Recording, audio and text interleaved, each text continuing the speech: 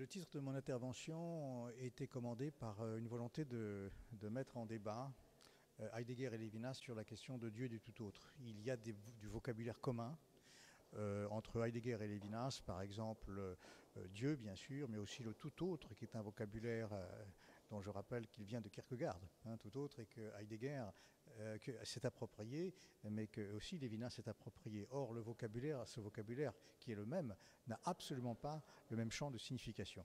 Hein. Alors je voulais rapprocher et mettre en situation de comparaison parce que d'une part on a un Heidegger pour lequel la question de Dieu est une véritable obsession, si l'on en croit son frère Hermann Heidegger, qui n'a cessé euh, de le dire, mais aussi son biographe euh, Ulrich Hölzermann, qui rappelait que pour Heidegger, la question de Dieu était la question de l'annonce d'une parole divine et qu'elle était tout à fait essentielle. Donc quand on regarde l'œuvre de Heidegger, si on nommait le vocabulaire divin, on ne comprend rien à la cohérence de l'œuvre, en dépit de ces, euh, strates et ces ces moments très différents. Alors j'ai essayé d'épingler trois questions pour Heidegger qui sont très différentes, qu'il faut absolument distinguer si l'on veut y comprendre quelque chose. Euh, je passe sur les moments de grande ferveur religieuse du jeune Heidegger qui est étudiant en théologie, je, laisse de côté, mais à partir des années 20 euh, jusqu'à la fin de sa vie, il y a trois plans différents de questions. La première, c'est comment euh, Dieu vient-il à la phénoménologie? Est-ce que c'est un objet pour la phénoménologie? La question se pose ici déjà de deux manières. Elle se pose dans les années 20 lorsqu'il lit dans la théologie, avec la théologie protestante Saint Paul, Saint Augustin, etc. Et puis elle se pose ensuite à partir de 1927 dans la conférence Phénoménologie et théologie, lorsqu'il se pose la question des rapports entre la phénoménologie et théologie précisément, et y voyant une séparation radicale. Hein. La théologie étant la science de la foi, dit-il, et euh, la philosophie étant une science ontologique.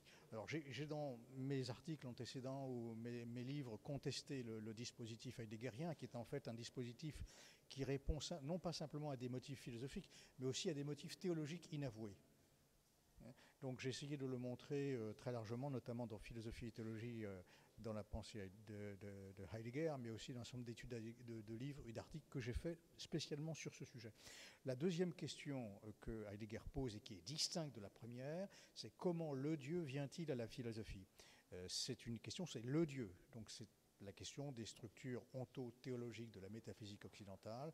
Et qu'est-ce que Dieu? Eh bien, c'est l'étant maximum qui résorbe toute la question de l'être. Autrement dit, euh, la question de Dieu ainsi posée depuis euh, les Grecs jusqu'à euh, Nietzsche inclus, hein, y compris dans le Nietzsche de la volonté de puissance, c'est un étant maximum qui rend impossible la question de l'être, qui est simplement la question de l'étant suprême. Hein.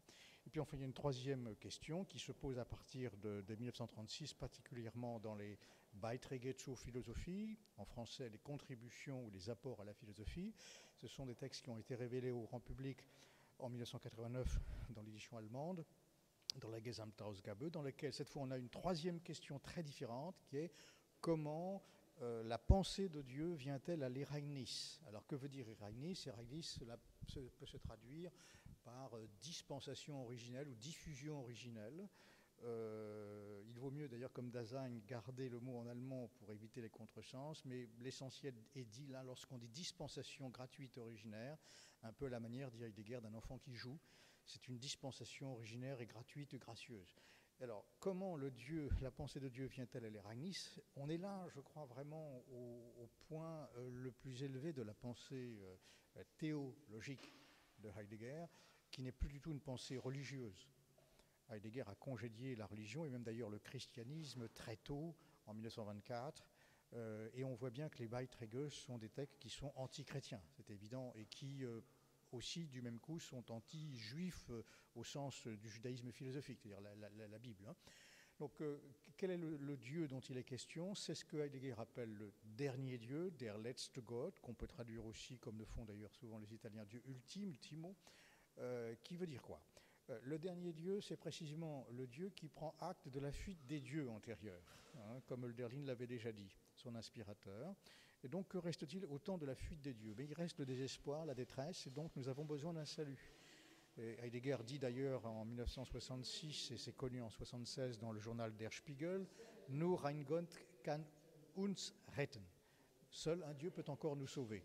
Mais quel est ce Dieu qui peut encore nous sauver? C'est précisément le divin enfoui qui survient, et non pas un dépôt révélé euh, qui viendrait nous contraindre c'est l'événement du Dieu, c'est le rassemblement du divin enfoui qui ne s'est pas exprimé dans les figures antérieures, mais qui vient. Autrement dit, le Dieu de Heidegger, c'est un Dieu qui, si je puis dire, ne peut être que celui qui vient. Et sa définition, entre guillemets, je dis bien entre guillemets, euh, est celui qui vient, c'est-à-dire qui résiste à toute caractérisation. Et Heidegger dit d'ailleurs, c'est pas très nouveau ce que je dis de ce, point de vue, puisque toute la théologie négative aussi euh, antérieure est déjà un, refus de caractériser le Dieu. Euh, mais ce qu'il ne veut pas lui-même, c'est son choix, à mon avis, indu, c'est assumer une théologie qui aurait un dépôt de révélation. Autrement dit, Heidegger récuse l'idée de création, l'idée de révélation et l'idée de rédemption. Il ne donne pas de contenu à la rédemption. C'est un véritable problème, euh, donc du même coup, face à Lévinas. Euh, car euh, Lévinas, lui aussi, assume le vocabulaire du tout autre, mais si je puis dire, le tout autre lévinassien est tout autre que le tout autre heideggerien. lorsque je vais prendre quelques exemples simplement, le mot création. Pour Lévinas, le mot création est un mot requis par la pensée pour penser l'événement radicalement nouveau, même du temps on n'est jamais dans euh, l'éternité lisse, on est dans la rupture du temps. Et donc, euh, c'est pourquoi Lévinas, euh, phénoménologiquement, se focalisait sur le concept de fécondité, par exemple, ou sur le pardon, qui sont des moments de naissance radicale, inaugurale, donc qui, qui supposent une séparation, donc une création. Et donc la légitimation philosophique du mot création vient de là. Hein. Donc c'est aussi, au fond, c'est une pensée du temps euh, pour Lévinas qui requiert la, création. La rédemption, Heidegger ne veut pas non plus en entendre parler. Ce vocabulaire est tout à fait essentiel, bien sûr, pour, euh, pour, euh, pour Lévinas. Pourquoi? Et ceci est très, à mon avis, peut-être l'un des enjeux les principaux, c'est que la nomination de Dieu pour Lévinas a une exigence éthique. On ne peut pas, le, Dieu convoque alors que le, dieu heideggerien n'a pas, pas de, connotation éthique. On, ne sait pas de quoi on va être sauvé.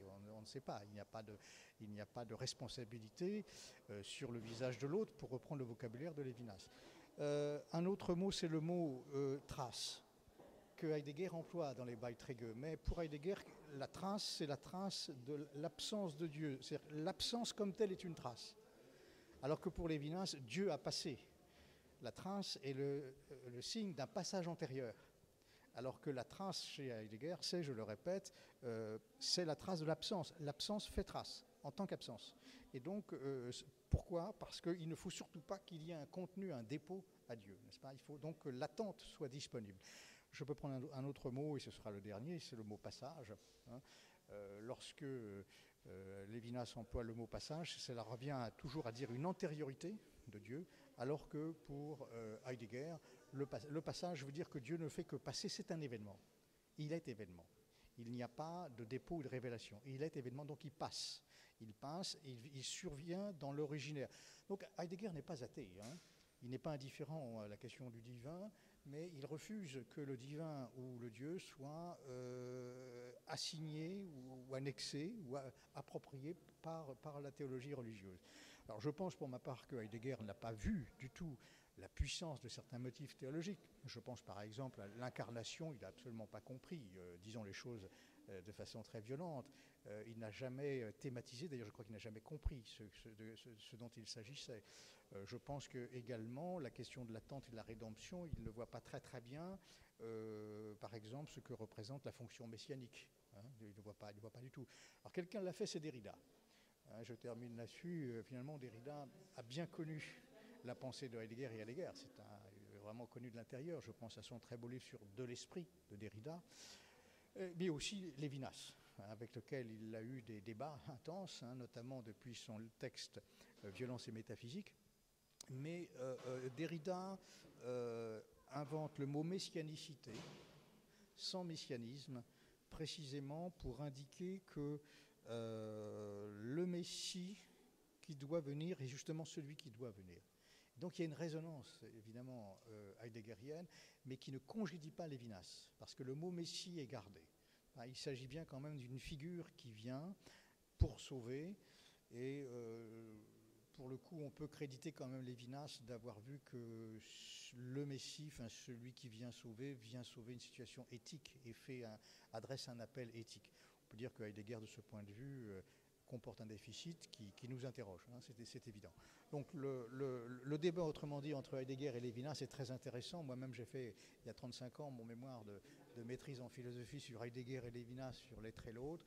Je maintiens euh, tout ce que j'y avais pu dire, sauf que nous avons maintenant des textes que nous n'avions pas à l'époque, et donc qui nous permettent euh, d'affiner davantage notre appréciation. Et je crois que sur ce sujet précis, le débat reste devant nous.